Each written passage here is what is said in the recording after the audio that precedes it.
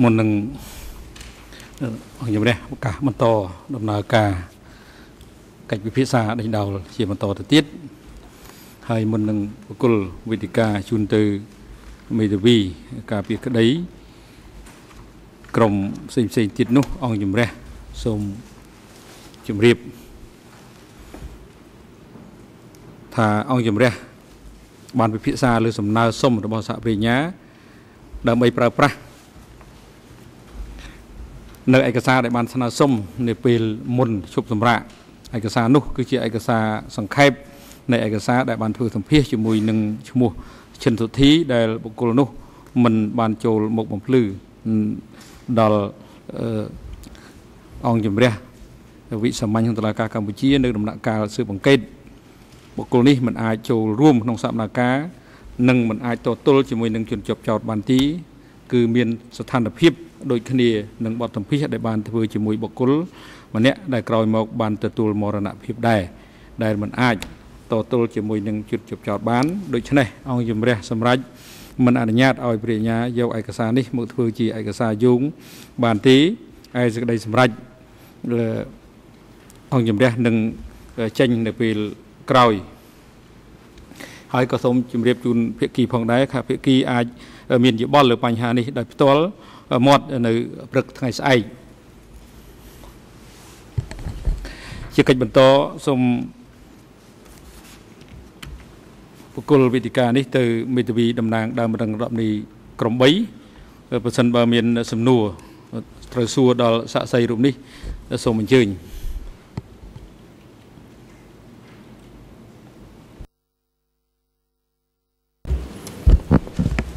សូមគោរព លោកប្រធាននិងសូមគោរព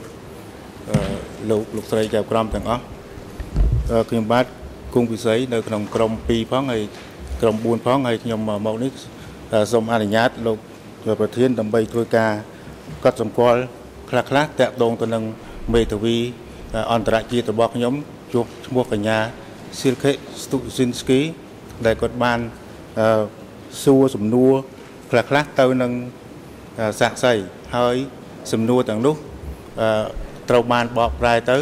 មានការឆក់ល្វែងខ្លះហើយខ្ញុំលើកពីសំណួរទាំងនោះជូនដូចតទៅគឺថាសំណួររបស់កញ្ញាស៊ីលខេស្ទូស៊ីនស្គីគាត់បានសួរថាសួរសាក់សីឈ្មោះចាន់ខននេះថាតើលោកចាំទេថា CD Cam បានសម្ភាសលោក សំណួរគឺសួរអញ្ចឹងក៏ប៉ុន្តែការបកប្រែបានបកថាតើលោកចាំពីចម្លើយ CD Cam បានសម្ភាសលោកទេនិយាយមួយសួរថាតើចាំទេថា CD Cam បានសម្ភាសលោកដល់បកបកថាតើចាំចម្លើយ CD Cam បានសម្ភាសលោកទេបញ្ហានេះគឺថាមានការបកប្រែអឺឆោតល្វែងអញ្ចឹងធ្វើឲ្យសាកសីឆ្លៃ មិនរួចចំណុចមួយទៀតចំណុចមួយទៀតកញ្ញាសិទ្ធិស្ទុសិនគីដដែលបានសួរថាតើលោកចង់ដឹងជោគវាសនាជីតារបស់លោក នៅមន្ទីរមក13ដែរឬទេនេះគឺជាសំណួរទៅការសាកសីខាងខនតែការបកប្រែបកប្រែថាតើលោកដឹងជោគវាសនារបស់ ជីតារបស់លោកដែរឬទេនៅមន្ទីរមោ13អញ្ចឹងធ្វើឲ្យគាត់មានការផលច្រឡំឆ្លើយមិនរួចហើយខ្ញុំបាទសូមឲ្យលោកប្រធានមេត្តាកត់ពីបញ្ហាទាំងអស់នេះក្នុងបតិចរិតបាទហើយសូមអរគុណ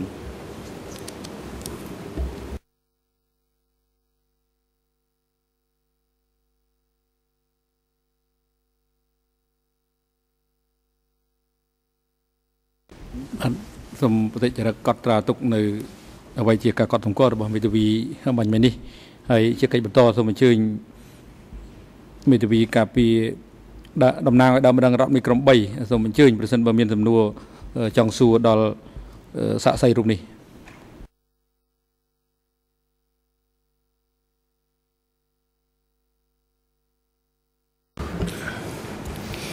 Oui, je vous en remercie, Monsieur le Président. Uh, Monsieur uh, Chan maybe, Kon, uh, Canon អឺសូមអរគុណលោកប្រធាន Ça va, vous n'êtes លោក pas trop ច័ន្ទ fatigué? ខនតើលោកអឺអារម្មណ៍ស្រួលទេលោកមិននឿយហត់ទេឬ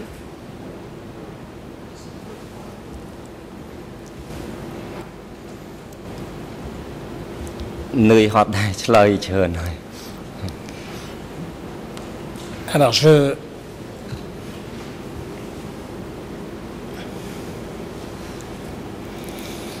Je ne vais pas vous ennuyer bien longtemps. J'ai deux questions. Ma première question est la suivante. Je reviens aux séances d'autocritique. Vous nous avez dit que chacun d'entre vous faisait la critique de l'autre et que vous-même vous, reprochiez un certain nombre de fautes.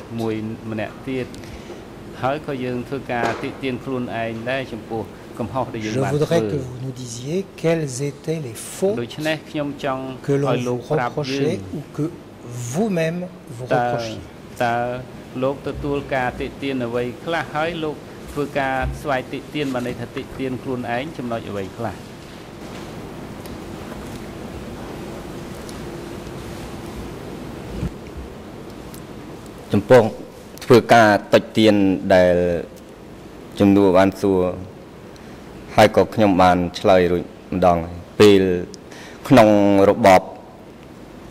ខ្មែរក្រហមគឺអង្គប្រជុំលើកណាក៏ដោយក៏ឲ្យតែមានការប្រជុំគឺមានការតិចទៀនគ្នា រវាងបុគ្គលមួយទៅបុគ្គលមួយ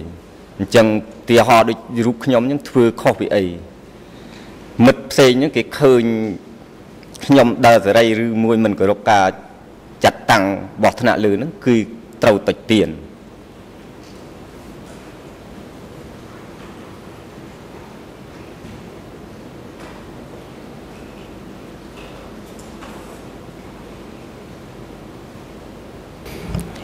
Merci. J'ai une autre question. Euh, mais Dans, oui, dans Canon, votre ça m'en déclaration, C'est euh, la cote des 78 à laquelle nous nous référons depuis ce matin. Dans la version française, page 3,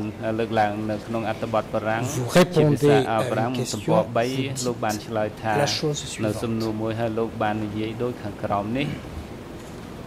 Duc ordonnait également aux នឹង gardes បញ្ជា de ឲ្យអ្នកយាម prévenir les prisonniers promener. du suicide en អឺ évitant ដើម្បីទប់ស្ de កាត់ laisser des morceaux ដើម្បី de bois, អឺ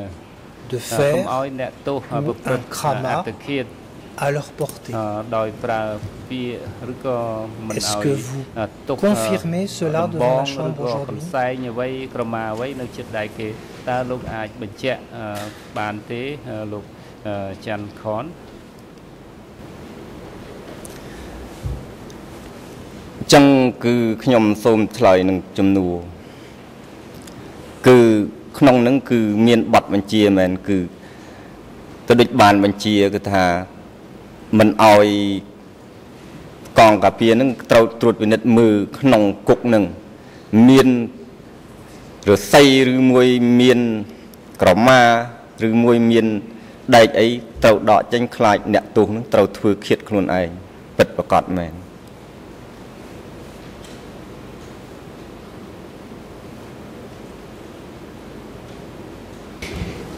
S'il n'y avait pas eu ces précautions, លោកកណុន est-ce que ប្រ vous សិនបើ pensez que beaucoup de មានការ prisonniers អឺ auraient វិធាន pu ការអញ្ចឹងបានអនុវត្ត préférer តើ se លោកជឿ suicider ទេថាអ្នកទោសអឺជាច្រើនបានអឺ ធ្វើអត្តឃាតគឺក៏គេចង់ធ្វើអត្តឃាតដែរឬទេ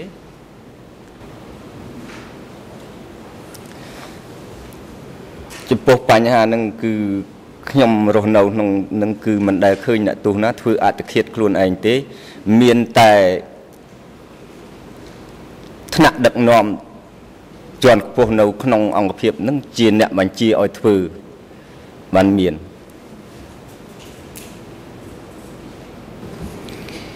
Avec votre permission, Monsieur le Président, je souhaiterais poser quelques très rapides questions à l'accusé. à l'accusé. Pardon, avec votre អឺ permission, លោកប្រធាន je ខ្ញុំ souhaiterais សូម poser quelques បើមានការ rapides អនុញ្ញាតខ្ញុំ questions សូ à មអនុ l'accusé. ញ្ញាត s'il vous plaît. សំណួរខ្លីៗពី3ទៅជនជាប់ចោតអង្គជំរះអនុញ្ញាតសូមអញ្ជើញមេធាវីហើយសូមជនជាប់ចោតត្រៀមស្ដាប់នៅសំណួរដែលនឹងសួរដោយមេធាវីហើយ ឆ្លើយឲ្យចំនឹងសំណួរបាទ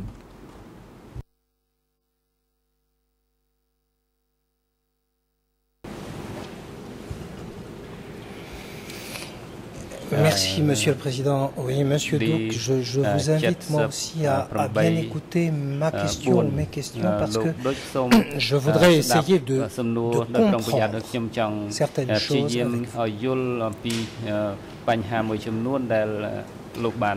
Quand vous avez vu votre garde ce matin, votre ancien garde, vous avez dit que vous étiez ému. C'est exact. លោកមានអារម្មណ៍មានអារម្មណ៍រំភើបឬក៏រំជួលចិត្តតើមែនឬទេ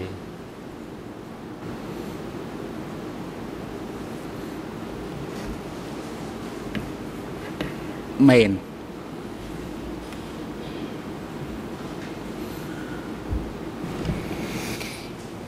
J'ai le sentiment, Monsieur Douk, vous me reprenez si je me trompe. J'ai le sentiment que vous aviez avec euh, vos jeunes gardes. une certaine euh, affection, qu'il y avait des, des liens entre vous qui pouvaient être forts.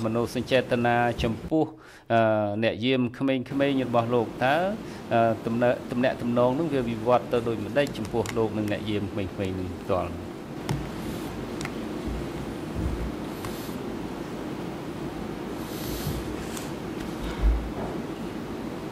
អ្នកយាមក្មេងៗជាមនុស្សសញ្ចេតនាស្រឡាញ់គេហើយចង់អប់រំគេ ឲ្យទៅរកផ្លូវមួយដែលចំនួននោះគេហៅថាបដិវត្តក៏ប៉ុន្តែតាមពិតខ្លឹមសារនៃការអប់រំនេះវាឈានទៅរកឲ្យគេមានគោលជំហរវណ្ណៈហ៊ានអនុវត្តប្រតិកម្មវណ្ណៈអធនបានន័យថាឲ្យគេហ៊ានប្រព្រឹត្តបទអក្រិតក៏ប៉ុន្តែដោយប្រើពាក្យកុម្មុយនី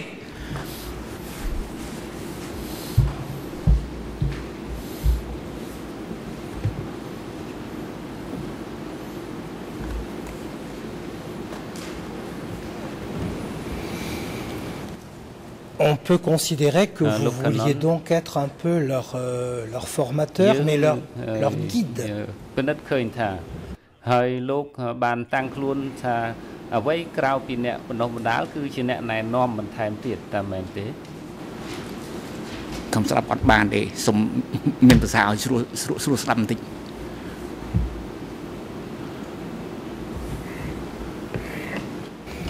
Je répète sans problème ma question. Est-ce que l'on peut dire que vous souhaitiez être un guide pour ces jeunes gardes, ces jeunes gardiens ទៅដល់អ្នកយាមក្មេងៗនឹងគឺជាមគ្គុទេសដូចជាអ្នកណែនាំគេ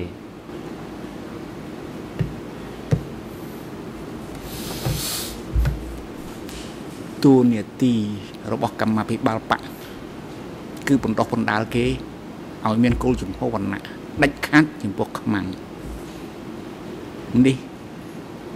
វាជាទូនីតិជាភារកិច្ចរបស់កម្មាភិបាលបកបើសិនជាយើងមើលឥឡូវនេះបានន័យថាយើងអប់រំអត់បត់អក្រិតដោយប្រើពាក្យវប្បធម៌របស់កុម្មុយនីសឲ្យវាចូលទៅក្នុងតសៃតសងរបស់គេគេហ៊ានធ្វើបត់អក្រិតតាមដែលយើងចង់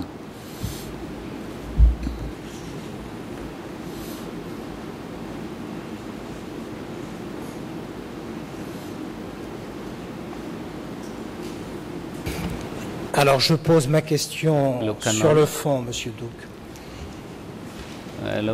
Parmi les prisonniers, on sait qu'il y avait des hommes, des femmes, des enfants, des jeunes gens. Est-ce qu'un jour, vous avez envisagé de dire à votre organisation. Que l'on pouvait peut-être rééduquer les prisonniers. Et former à la nouvelle société. et non pas les éliminer. Est-ce qu'un jour vous avez dit cela à votre hiérarchie? និយាយរឿងនឹងទៅប្រាប់ថ្នាក់លើរបស់លោកទេឬក៏មិនដែលនិយាយសោះបញ្ហានេះខ្ញុំសូមសរុបឡើងវិញ មាននិយាយរប៉ាត់របាយពីមុនមកខ្លះ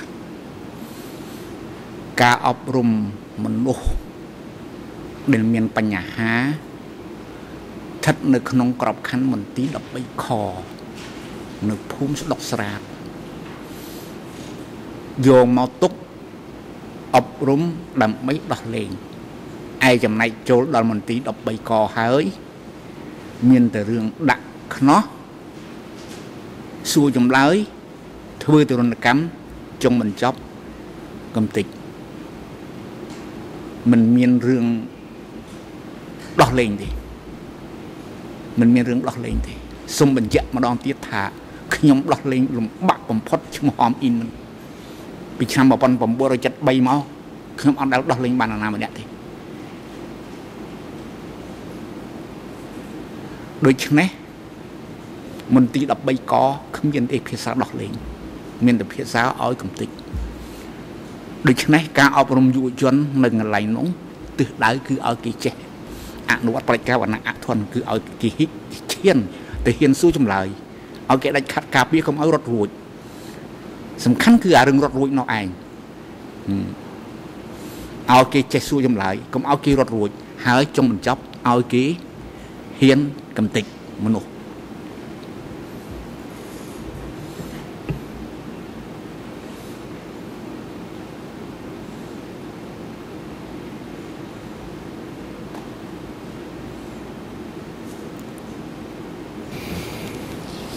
Ma toute dernière question, monsieur. Euh, je, je vous entends. J'entends bien ce que vous me dites. Je, je, ne suis pas sûr tout à fait de, de comprendre. Pourquoi Dans votre euh, idéologie, pourquoi dans votre envie d'avoir une nouvelle société? Pourquoi éliminer? Pourquoi éliminer, écraser systématiquement? Pourquoi ne pas instruire? Vous êtes intelligent, vous êtes mathématicien, vous avez une logique. Pourquoi la logique d'écrasement?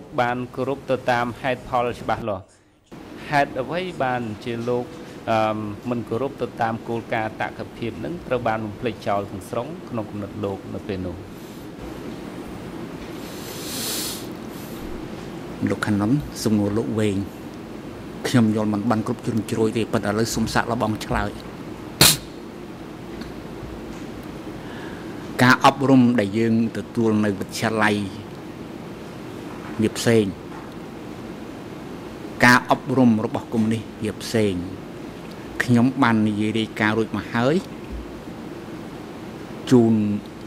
លោកចៅក្រមឡាវែងប្រពុតហាមមិនឲ្យយើងសម្លាប់សម្រាប់សัตว์ពាក្យសัตว์នោះបារាំងហៅថាអេត្រវីវង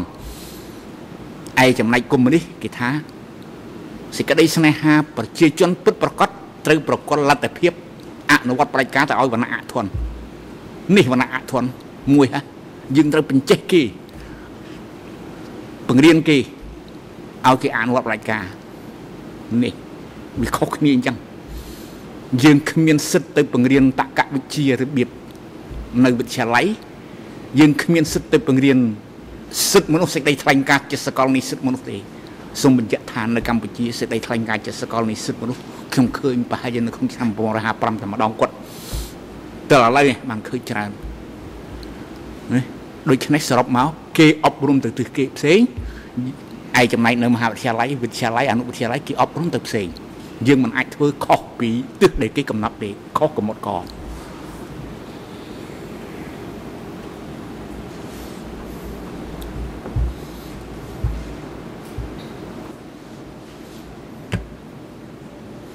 Je note euh,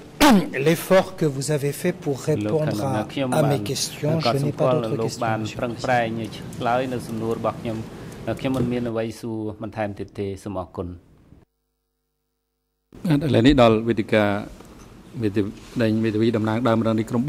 4តើមានទំនួលអីត្រូវសួរដល់សាក់សីរូបនេះទេ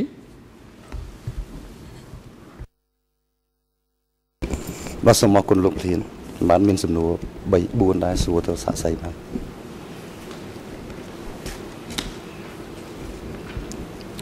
លោកច័ន្ទខន បើលោកស្ដាប់សំណួរខ្ញុំមិនច្បាស់សូមលោកឆ្លើយថាសំណួរនេះមិនច្បាស់ទេលោកឮខ្ញុំនិយាយទេឮបាទចឹងខ្ញុំសួរលោកថាមុនពេលសម្រាប់លោកបានឆ្លើយជូនអង្គសវនាការរួចហើយមិនលើកយកទេអំពីការឆ្លើយនៅ6ឆ្នាំមុនហើយខ្ញុំក៏បានចាំដូចគ្នាដែរ លោកថាលោកនៅចាំការសាកសួររបស់សហចៅក្រមស៊ើបអង្កេតក្នុងឆ្នាំ2008អញ្ចឹងមែនទេបាទបាទចឹងខ្ញុំសួរតតតងជាមួយនឹងឯកសារដែលលោកបានឆ្លើយជាមួយលោកសហចៅក្រមស៊ើបអង្កេតដោយសារលោកជាអ្នកយាមនៅក្នុងមន្ទីរម13តើលោកជាអ្នកយាមនឹងបានឃើញទស្សនភាពជុំវិញមន្ទីរម13មានន័យថាជារបង ឬជា រណ្ដៅចម្រងដែរឬទេ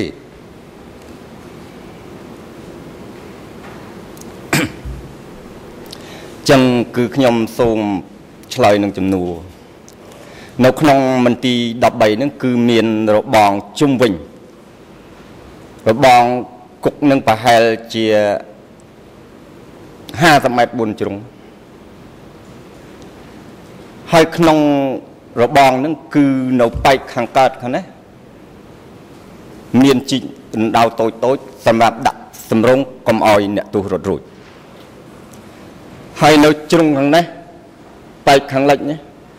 មានផ្លុកគោយាមមួយសម្រាប់យាមត្រួតពិនិត្យអ្នកគុកក្នុងនៅក្នុងហ្នឹងហើយនៅប៉ែកខាងជើងខាងចេះមានផ្លូវចេញចូលមួយ តែមួយគត់សម្រាប់ទាំងអ្នកទោសទាំងកងការពារដែលចេញទៅត្រួតពិនិត្យ សូមអស់បងបាទសូមអរគុណតើលោកដែលឃើញពាក្យថាឃើញគឺឃើញនឹងភ្នែកណាលោកយល់ទេបាទដែលឃើញមានអ្នកទោសរត់ហើយធ្លាក់ស្លាប់នៅក្នុងរណ្ដៅចម្រងដែរឬទេយើងខ្ញុំសុំបន្តឆ្លើយចំនួនទៀតចំពោះអ្នកទោសមិនដែលរត់ចូលដៅសំរងនឹងទេសំរងបានធំតែមកដាក់ទេ គឺអ្នកទោសមិនដែលរត់ទៅចំប្រឡោះនឹងទេសូមអស់បាទសូមអរគុណនៅក្នុងចម្លើយ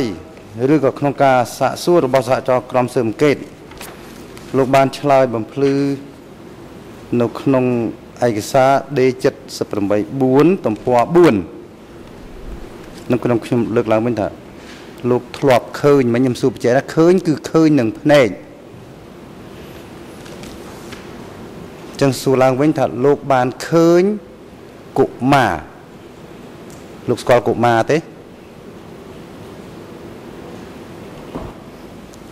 នេះស្គាល់កុមារនៅតូចមិនទាន់គ្រប់អាយុ18ចុះទារក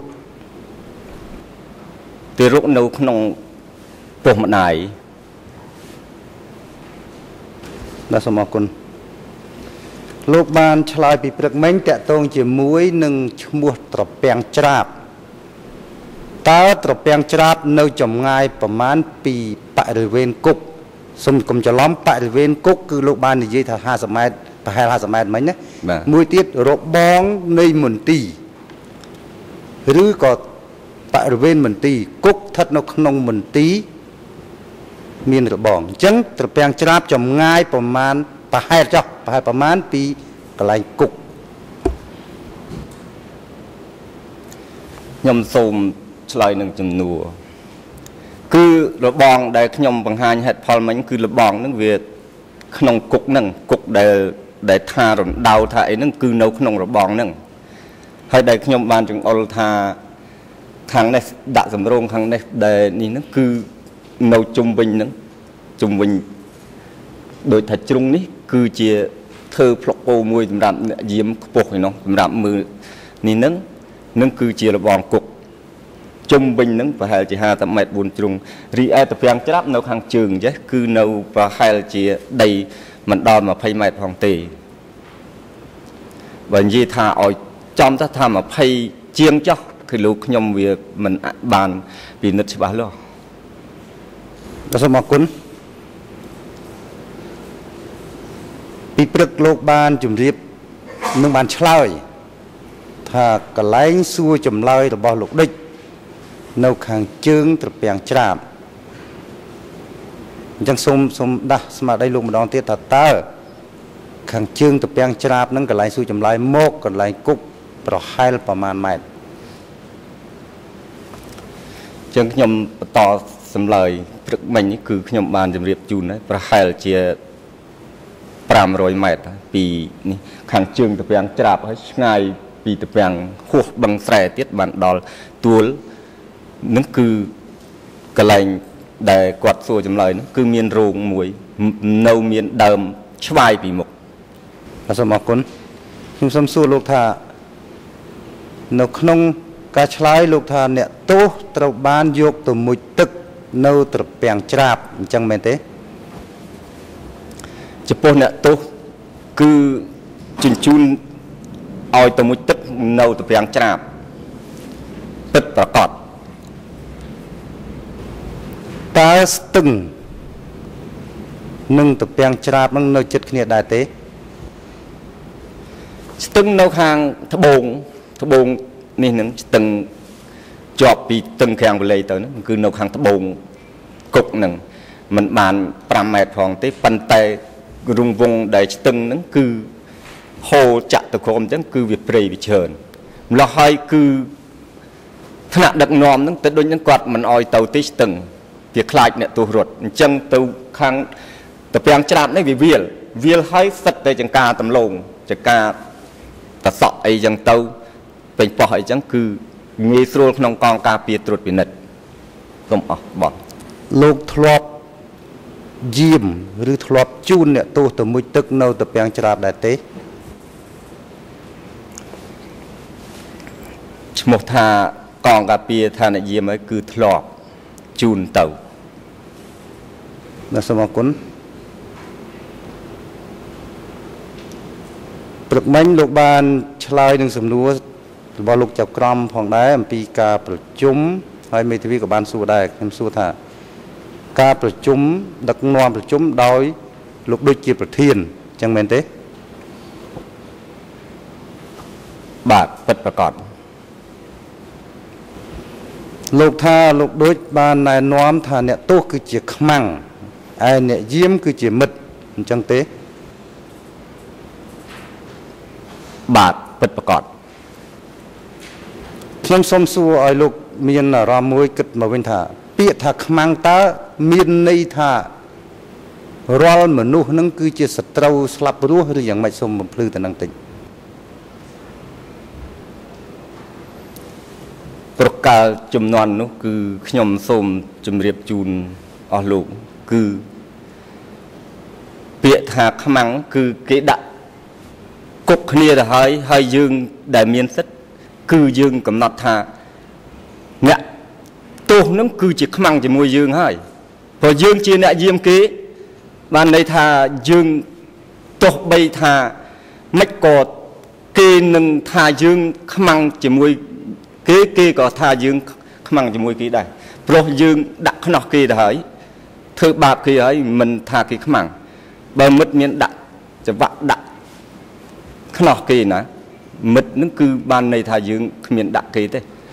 បាទសូមអរគុណហើយខ្ញុំសូមសួរពីសំណួរទៅទៀតតកតងអំពីលោកបានឆ្លើយថាឃើញមានបង្គោលសម្រាប់ចងបាញ់សម្លាប់អ្នកទោសដើម្បីបំភ័យអ្នកទោសដតីលោកបានឃើញចឹងមែនទេ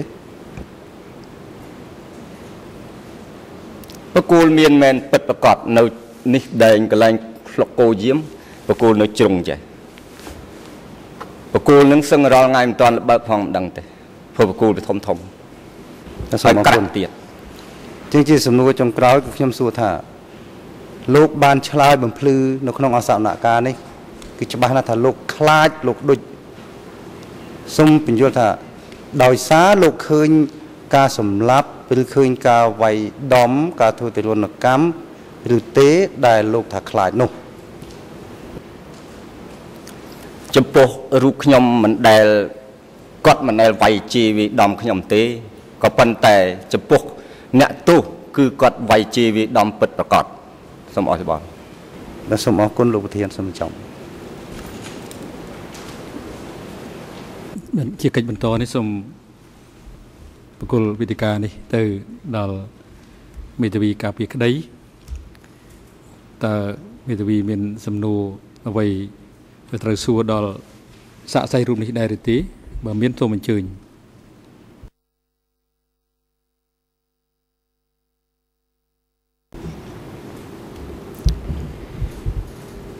Merci, Monsieur le Président. Bonjour, Monsieur le témoin.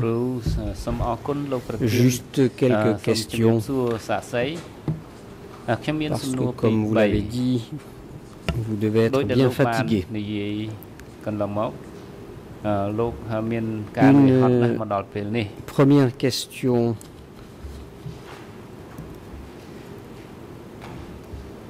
Pourquoi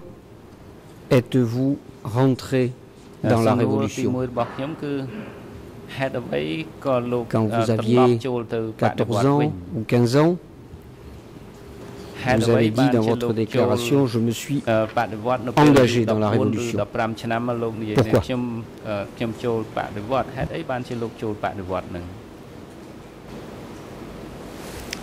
ព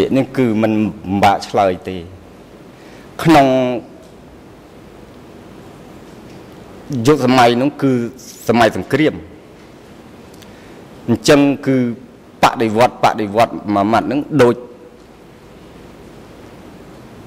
អស់លោកទាំងអស់ធ្លាប់ឆ្លងកាត់ពីរបបប៉ុលពតហើយ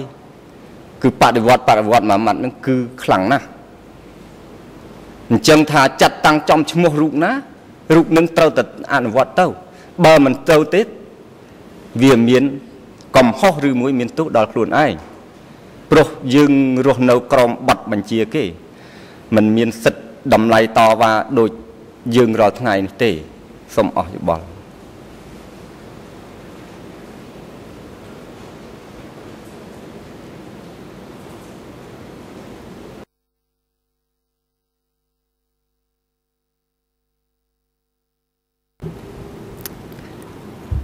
Merci, c'est très clair. Au début, quand on vous a affecté à M13, vous étiez satisfait d'être affecté à M13 ou bien vous auriez préféré partir à l'armée? បញ្ជូនទៅម13ដែរទេឬក៏លោកពេញចិត្តក្នុងការបម្រើជួរតបជាងព្រោះធម្មតាទាំងរូបគេរូបខ្ញុំ ទៅរស់នៅឃើញមនុស្សទៅមានទោសអត់ទោសក៏ដោយឃើញជាប់ខ្នោះរតាត់រតាយឆ្កោមរយិចរយៈរំបាក់វេទនាអញ្ចឹងគឺក្នុងសតិអារម្មណ៍មិនពេញចិត្តទេ ក៏ប៉ុន្តែបើសិន ជាយើងចេះតែរត់ចេះតែបោលចេះតែទៅនេះទៅនោះគឺមិនដាល់ឲ្យអាយុជីវិតរបស់យើងឆ្លាប់ម្លោះហើយគឺបកបកលតនាត្រូវធ្វើទៅហ្នឹងសូមអស់យោបល់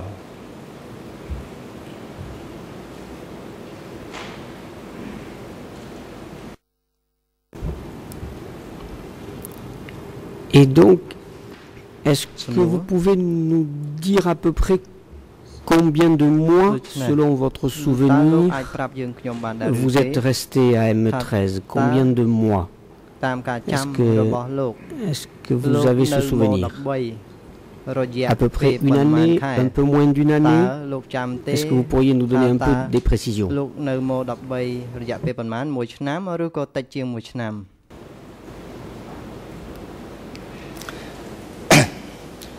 ចំនួននឹងគឺខ្ញុំមិនចាំបានច្បាស់ទេតែដឹងថាខ្ញុំទៅរស់នៅក្នុងមន្ទីរ13ហ្នឹងគឺក្នុងឆ្នាំ73ហើយដល់ចុងឆ្នាំ73ហ្នឹងមិនដឹងជាដល់74មិនដឹងគឺត្រូវទៅដូចគាត់បញ្ជូនខ្ញុំឲ្យទៅនៅធ្វើស្រែនៅអូព្រាលខាង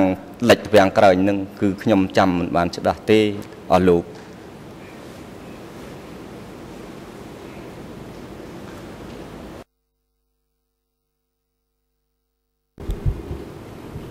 Quand vous êtes arrivé à M13, est-ce que Chanven était déjà à M13 Vous connaissez ça, Chanven Est-ce que je prononce bien ទីនោះរួចហើយឬនៅតើលោកស្គាល់ច័ន្ទវឿនដែរឬទេច័ន្ទវឿនគឺខ្ញុំស្គាល់ប៉ុន្តែចំនួននោះគឺខ្ញុំភ្លេចដែរមិនដឹងជាច័ន្ទវឿននឹងត្រូវ ចូលបដិវត្តនឹងមុនខ្ញុំឬមួយខ្ញុំចូលមុនគឺខ្ញុំអត់បានគិតទេសូមអស់យោបល់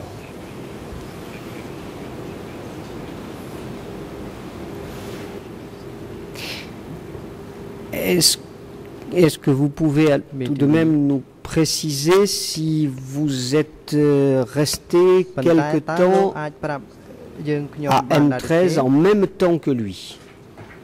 vous vous souvenez pas s'il était déjà là, mais est-ce que vous vous souvenez si vous avez passé du temps tous les deux à M13 ensemble ប៉ុន្តែខ្ញុំចង់សួរលោកថាតើលោកចាំដែរឬទេថាលោកជាមួយនឹងច័ន្ទវឿនគឺនៅម៉ោ13ជាមួយគ្នាសូមអានចំនួននឹងមួយលើកទៀតអត់សូវយល់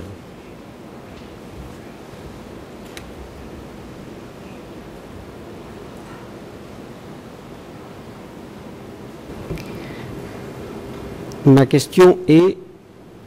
pendant que vous étiez vous-même à M13, est-ce que Chan était lui-même gardien?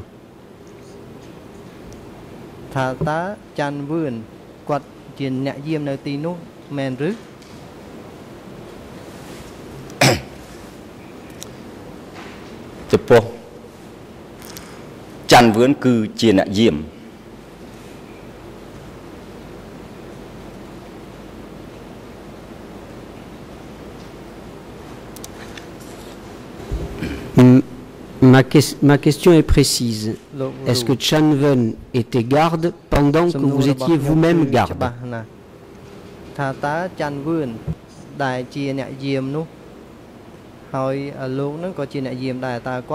ហើយឬនៅនៅពេលដែលលោកទៅ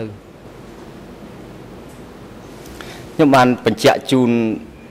អស់លោករួចហើយថាមិនដឹងជាខ្ញុំទៅមុនច័ន្ទវឿនឬមួយក៏ច័ន្ទវឿនទៅមុនខ្ញុំនឹងខ្ញុំបញ្ជាក់ជូនព្រោះ សម័យនោះគឺខ្ញុំភ្លេចបាត់ទៅហើយប៉ុន្តែដឹងច្បាស់ថាច័ន្ទវឿនជាកងការពារជាមួយខ្ញុំសូមអស់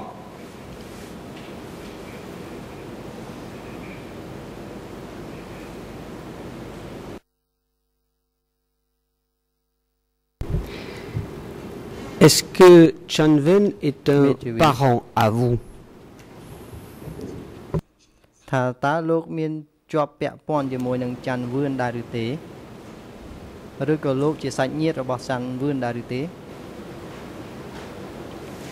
ចំពោះច័ន្ទវឿនឲ្យខ្ញុំគ្មានសាច់ញាតិធៀបអីជាមួយគ្នាទេគ្រាន់ថាមនុស្សរួម ក្នុងស្រុកក្នុងភូមិធ្លាប់រៀនសូត្រពីតូចពីតាចមកធ្លាប់ខ្វៀលគូរស់នៅជាមួយគ្នាទេគ្រាន់តែប៉ុណ្្នឹងទេបើ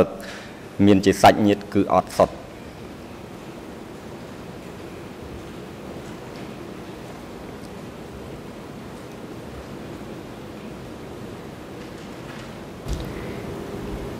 Merci.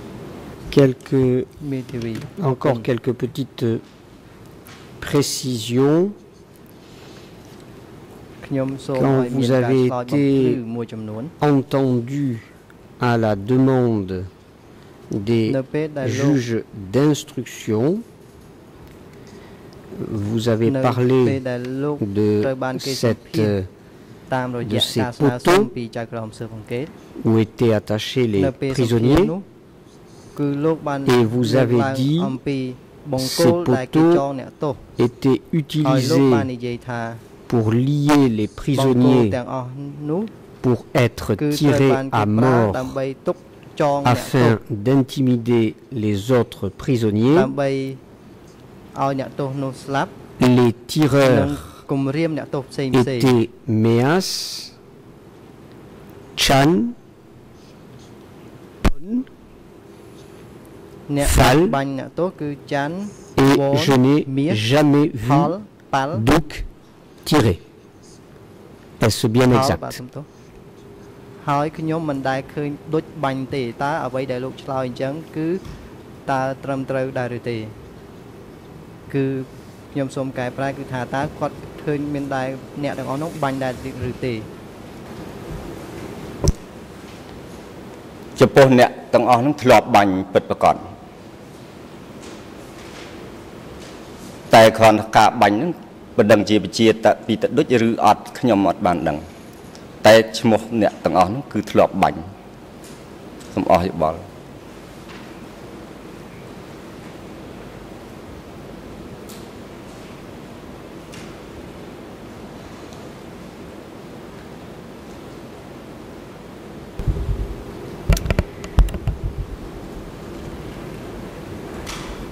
Vous nous avez dit également, monsieur le témoin,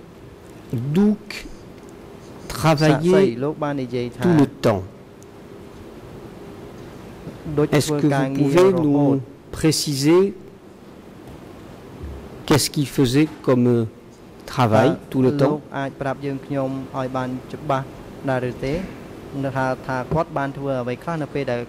témoignage donc travailler tout le temps ផ្ដល់ចម្លើយរប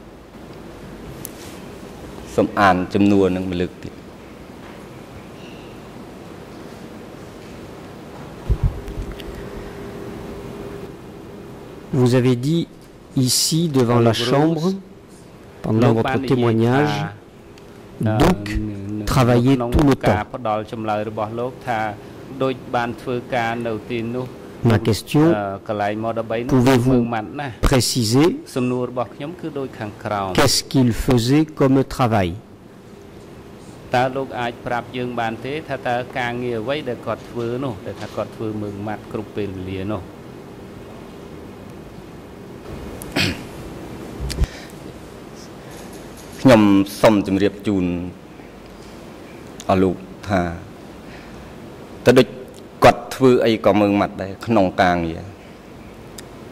គឺមើងម៉ាត់មកចត់យកស្អាតស្អំគឺមិនចេះតែធ្វើទេ គឺសម្រាប់ផែនការអីមួយ គឺគាត់ធ្វើតតបានគឺគាត់អនុវត្តចំតួតាមទ្រឹស្ដីរបស់កុម្មុយនីសមកគឺគាត់ហ៊ានធ្វើអីគឺគាត់ត្រូវតែធ្វើឲ្យបាននឹងហើយដែលខ្ញុំថាគាត់អនុវត្តអឺ ភារកិច្ចអឺដែលមឹងម៉ាត់ម៉ត់ចត់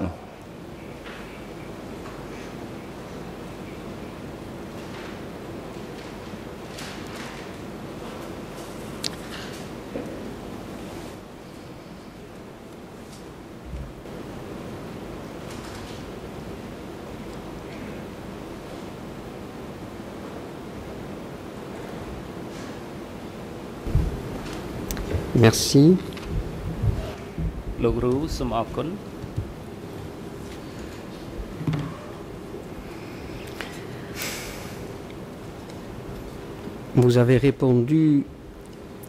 tout à l'heure à une question d'un avocat. En disant à l'époque ennemi se référer aux personnes détenues ប្រើដើម្បីសំដៅដល់អ្នកទោសសម្រាប់ហៅអ្នកទោសថាជាខ្មែរ En même temps vous avez dit au juge Lavergne បាននិយាយថាជំរាបទៅចៅក្រម Lavergne ថា J'étais troublé parce que mes deux grands-pères était aussi détenu et je savais qu'il n'était pas des ennemis. C'est bien exact. ពួកគាត់ទាំងពីរនោះមិនមែនជាខ្មាំងទេតើចម្លើយនឹងត្រឹមត្រូវដែរឬទេ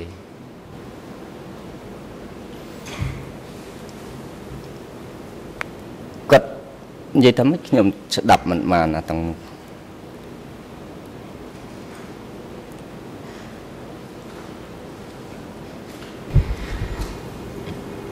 Vous saviez que vos deux grands n'étaient pas des ennemis Est-ce que c'est bien exact ជាតារបស់លោកពីររូបក៏បានត្រូវដាក់ឃុំឃាំងដែរហើយលោកដឹងថាពុកជាតានឹងមិនមែនជាខ្មាំងទេចឹងទេខ្ញុំមានបាននិយាយថាគាត់មិនខ្មាំងណាដូចខ្ញុំប្រកាសចឹងថាអ្នកដែល ទៅដូចគាត់លើកឡើងអញ្ចឹងគាត់ថាអ្នកជាប់គុកគឺជាខ្មាំងរីឯមិត្តផងគ្នាដែលអត់ជាប់ជាជាមិត្តតែចំពោះថាจิตតារបស់ខ្ញុំចូលក្នុងនឹងទោះបីខ្ញុំថាគាត់មិនខ្មាំងក៏ត្រូវខ្ញុំថាខ្មាំងដែរព្រោះអីបើខ្ញុំមិនថាអត់ខ្មាំងទៅវាអាស្រ័យងាប់ដល់រូបខ្ញុំទៀតព្រោះចំនួននោះមិនធម្មតាណា គឺមិនថាម៉ែមិនថាអូនថាបងថាប្អូន ប្រះយករួចតែខ្លួនទេអត់មានទៅជោគចែวนរណាម្នាក់បានទេ គេថាខ្មាំងមួយម៉ាត់ហើយគឺគឺយ៉ាប់ហើយ មានតែចូលដៅទេនឹងសុំអស់យោបល់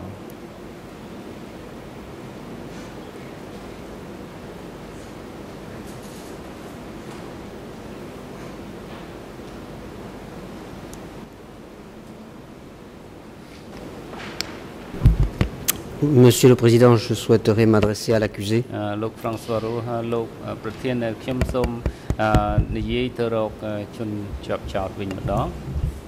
Donc, vous avez entendu celui qui était à l'époque un jeune gardien. Vous avez entendu la situation dans laquelle il s'est trouvé obligé de considérer ses propres grands-pères comme des ennemis. Vous avez quelque chose à lui dire aujourd'hui, donc ជាតារបស់គាត់ជាសិតតែជាខ្មាំងកណាដាក់ទោសហើយតើដូចមានមតិអ្វីទេក្នុងរឿងនេះបញ្ហាសំខាន់នៅពេលនេះដែលខ្ញុំត្រូវនិយាយ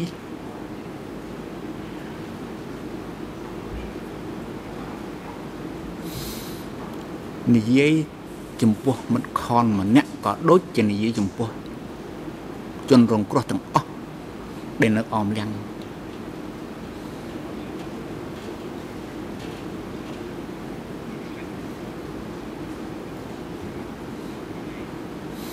ពីព្រោះទីតាំងរបស់មន្ទីរ13វានៅអមលៀង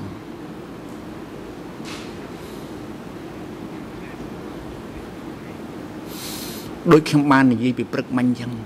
ប្រជាជនកម្ពុជាដែលនៅដែលនៅភូមិឃុំអស់នេះមុនដំបូងគេជឿទុកចិត្តបដិវត្តណាប៉ុន្តែស្ថានភាពវាវាផុតទៅ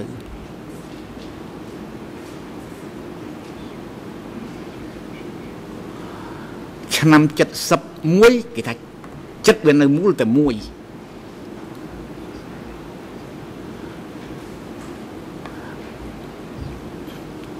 កាលណាដល់ឆ្នាំ72គេថាចិត្តវាបែកខ្ញាច់ជាពីរម្នាក់ទៅលិចម្នាក់ទៅកើត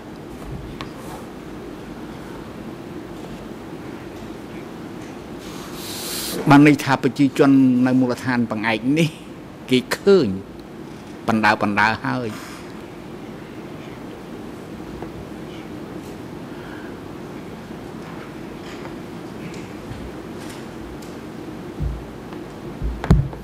សុំទោសមូលដ្ឋានបង្អែកសុំប្រាប់បាស្ដាប់ពី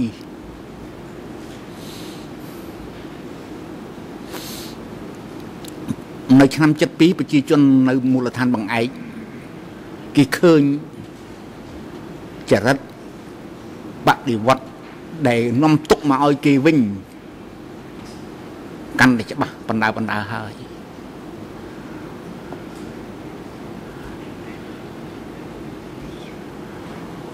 ដល់ឆ្នាំ73មនុស្សដែលចូលទៅមន្ទីរ13មិនមែនត្រឹមតែគិញនោះទេគឺចូល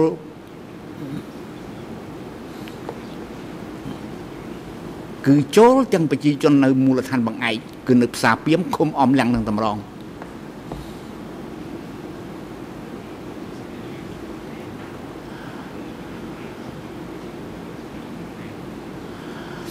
ផ្សារភូ ពីមឃុំអមលាំងនេះឆ្នាំ73ក្រោយពីពុទ្ធគាត់រត់ទៅហើយមកវិញមានរឿងកំភ្លើងឯណាគេភូតផោនោះតែមកឲ្យដេញរាល់កំភ្លើងនោះអស់មនុស្សប្រហែលជា60នាក់50នាក់យ៉ាងតិចប៉ុណ្ណឹងឈ្មោះដែលខ្ញុំនៅចាំឥឡូវនេះណា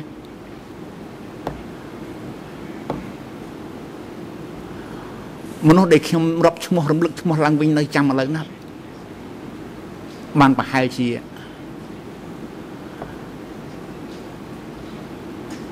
បានប្រហែលជា30នាក់ដូច្នេះចំពោះបញ្ហាអកតកម្មរបស់ខ្ញុំទៅលើប្រជាជននៅអមយ៉ាងវាធំធេងខ្ញុំនឹកមិនភ្លេចទេ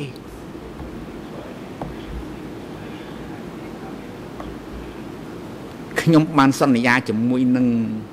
អង្គជំនុំជម្រះសាលាដំបងនេះថាខ្ញុំនឹងទៅសេអត្ថបទមួយប្រហែលជាមានពី15ទៅ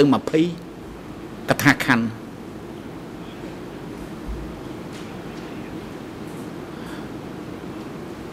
ដើម្បីនឹងរំលឹកអំពីអក្រិតកម្មរបស់ខ្ញុំទៅលើប្រជាជននៅអមទាំងហើយសុំទោសសុំពីយាតប្រជាជនខ្ញុំ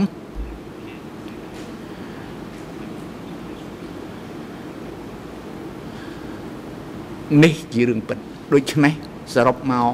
ពូតាំក៏ខ្ញុំអត់ភ្លេចប៉ុន្តែខ្ញុំគិតអត់ដឹងថាពូតាំ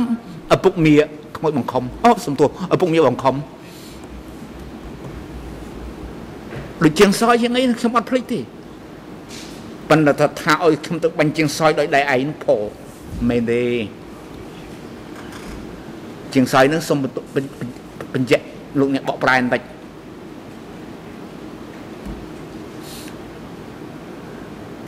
ជាងសយនេះមិនមែនជាសទេឈ្មោះគាត់ឈ្មោះសយតែគាត់ជាជាងកាត់ដេកគេហៅជាងសយ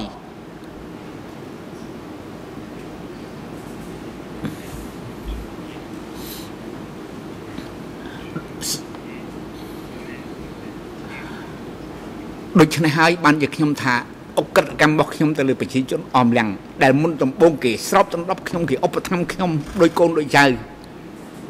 គេឲ្យកូនគេមកនៅជាមួយខ្ញុំខ្ញុំអប់រំកូនគេ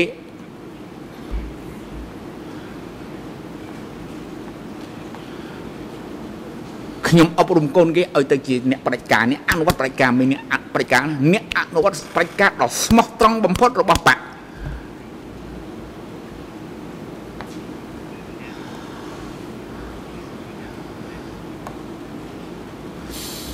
ដូច្នេះ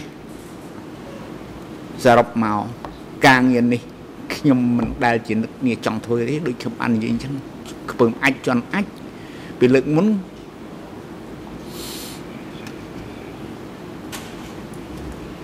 ពី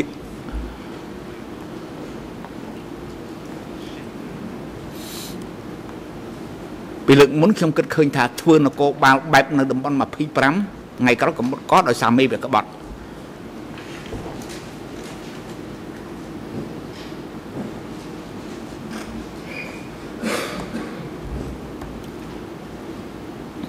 ចាញ់អត់បកប្រែ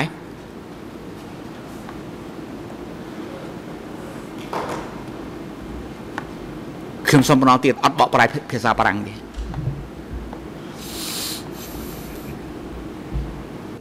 មន្ត្រីតុលាការទ្របរួលជាមួយអ្នកបកប្រែមើលមិនមានបញ្ហា Monsieur, Monsieur le Président, oui. សូមសូមអញ្ជើញតទៀតបាទ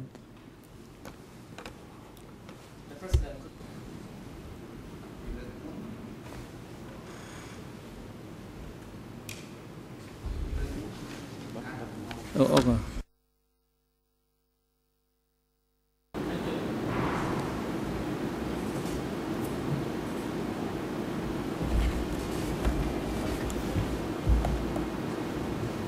ពី លើកមុនខ្ញុំឃើញសភាពការទំនាស់នៅតំបន់25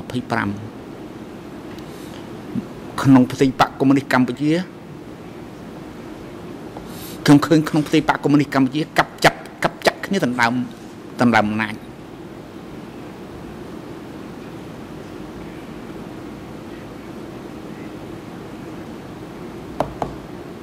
ខ្ញុំសូមបញ្ជាក់ម្ដងទៀតលោកអ្នកបកប្រែ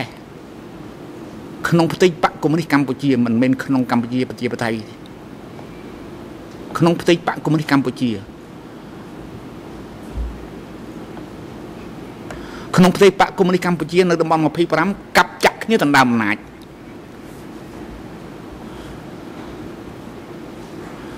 ខ្ញុំខ្ញុំស្បត់មកខ្ញុំថាអេអត់ធ្វើទេអានគរបាលថ្ងៃក្រោយអាមេវាក្បត់អាកូនវាដេញក ជាពិសេសអាមេអង្គរបាលនឹងដេញកមុនគេ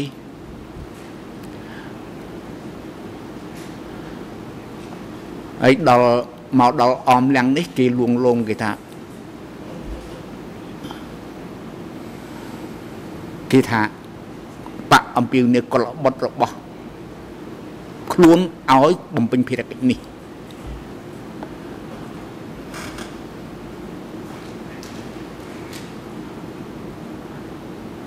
មិត្តត្រូវតែបំពេញ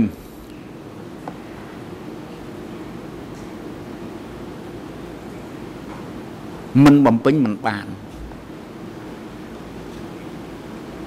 ការចាប់ចងគេអ្នកសម្បាច់គេអ្នកទទួលខុសត្រូវចំពោះមុខប្រវត្តិសាស្ត្រមិនកំភៃ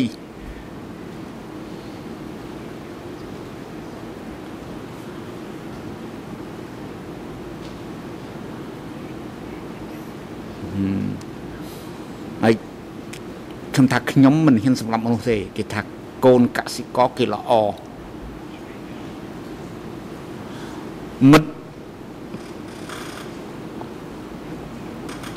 ចេញតែបញ្ជាទៅគេធ្វើហើយយើងមានតែរៀនសូត្រពីគេទេ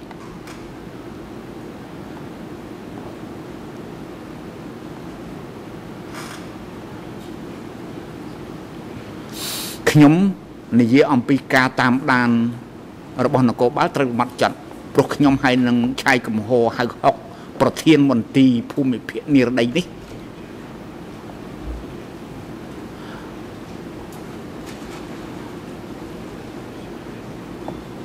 ប្រធានមន្ទីរភូមិភាគនិរដីមិនប្រធានភូមិភាគនិរដីទេប្រធានមន្ទីរភូមិភាគនិរដីនេះនឹងខ្ញុំធ្លាប់បានមើលកុនមួយជាមួយគ្នា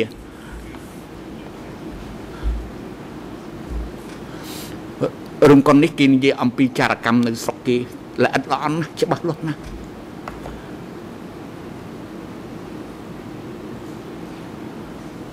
គេថាយើងកសាងបណ្ដាបណ្ដាទៅវិបត្តិអីទៅទេទៅទៅវិបត្តិអីទៅទេដូច្នេះហើយបានជាដំបងខ្ញុំមានមោទនភាពអស់ណែសំទោសដំបងខ្ញុំយល់ច្រឡំគិតណាស់ខំខ្ញុំខំខំរក ខំរកមនុស្សដើម្បីដោះលែងខ្ញុំដោះលែងបាន10នាក់ដូចបានរាយការណ៍ជំរាបលោកចៅក្រមហើយ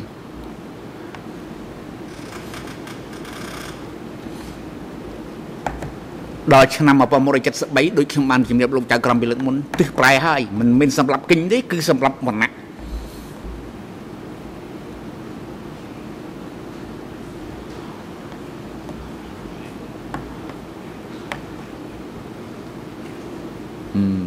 គឺ កំតិចវណ្ណៈជាជន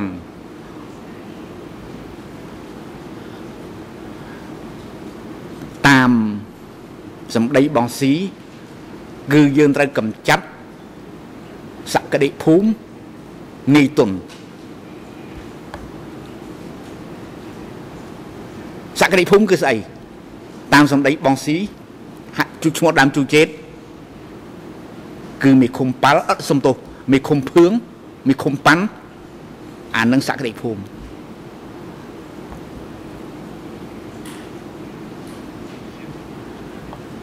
អឺអាហ្នឹងគេអប់រំទៅទៅអញ្ចឹងដូច្នេះពីចិត្ត3មកបប្រតិបត្តិវាវាបដូរហើយសរុបមកខ្ញុំពេលនេះ ដែលឃើញមុខមិត្តខនសាជាថ្មីខ្ញុំតក់ស្លុត ចំពោះប្រជាជនដែលដំបងជឿទុកចិត្តបដិវត្តដល់ចុងបញ្ចប់ធ្លាក់ខ្លួនមកអន្តរាយដោយសារបដិវត្ត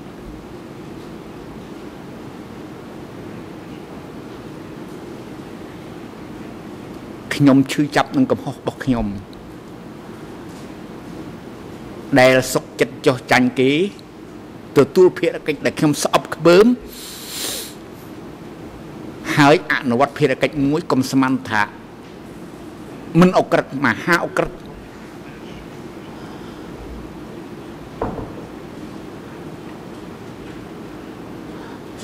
មហាអក្រិតមិនមែនត្រឹមតែអក្រិតទេ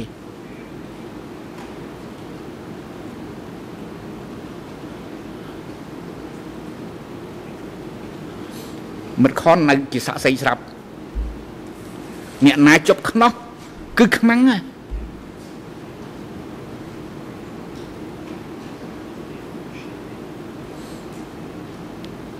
ដូច្នេះមិត្តខនហ៊ានចាត់ទុកពូតឹមថាមិនមែនខ្មាំងទេអត់ហ៊ានទេអាណាអប់រំ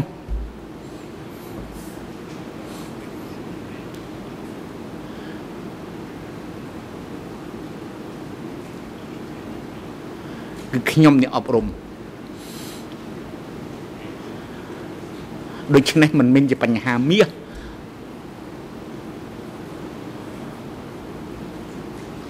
មិនមែនជាបញ្ហាប៉ុនគឺបញ្ហាខ្ញុំព្រោះខ្ញុំអប់រំគេខ្ញុំរៀបចំការចាត់តាំងមួយឲ្យបានខ្លាំងក្លាដើម្បីអនុវត្តរាជការនៅទីនេះ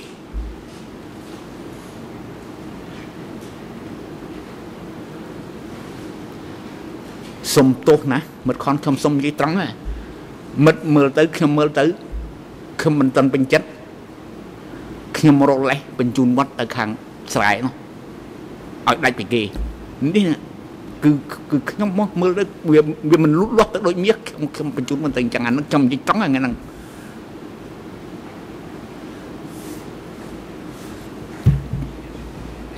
ដូច្នេះសរុបមកវិញពេលនេះខ្ញុំនិយាយសរុបរឿងនៅម៉13ឲ្យអស់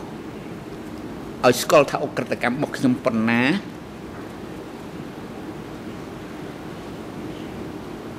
អ្វីទៅបិទបញ្ហានេះមិនចូលទៅក្នុងសំណុំរឿងកាត់ទោសក៏ដោយខ្ញុំត្រូវតែខំរៀនគិត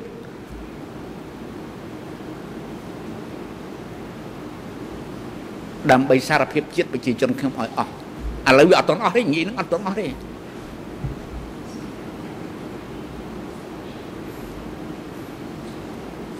សូមចិត្តប្រជាជនកម្ពុជាលោកចាំពាក្យសន្យារបស់ខ្ញុំចុះ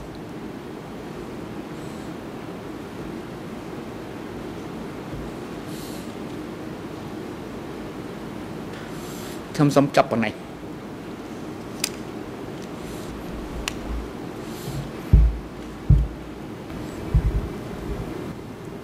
Merci, monsieur le témoin.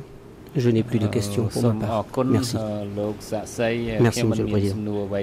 សូមអរគុណលោកប្រធានលោកចៅក្រមផងដែរ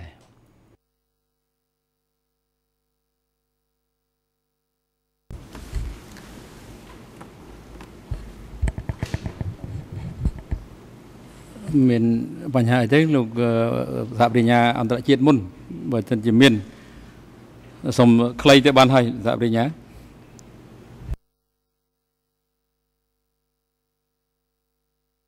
Sorry, I have no questions for this witness. It was merely in relation to the submissions that the court wished us to make tomorrow morning, and I didn't wish to lose the opportunity before the court rose. Uh, so if, if, Mr. President, you wish to dismiss this witness first, and then I can make my submission later. Thank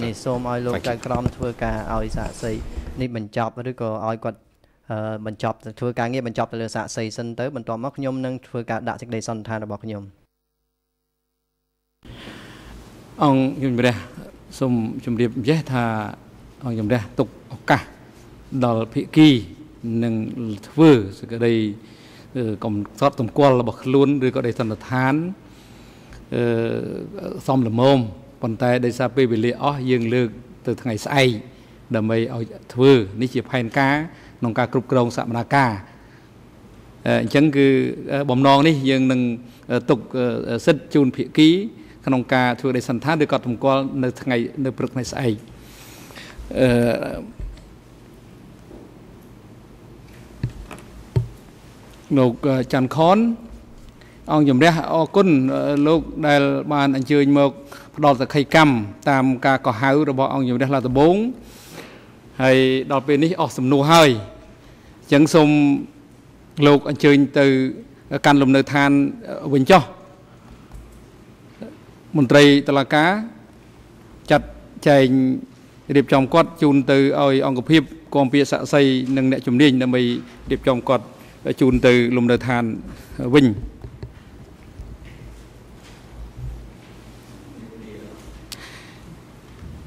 អង្គជំរះប្រកាសផ្អាកសកម្មភាពសម្រាប់ថ្ងៃនេះត្រឹមនេះហើយសកម្មភាពនឹងបន្តនៅព្រឹកថ្ងៃស្អែក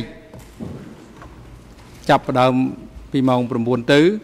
អនុរិយមន្ទីរឃុំឃាំងនាំជនជាប់ចោតទៅកាន់មន្ទីរឃុំឃាំងវិញហើយជម្រាបផងដែរដល់អ្នកចូលរួមនៅក្នុងសកម្មភាពសូមអញ្ជើញមកថ្ងៃស្អែកឲ្យបានមុនម៉ោង9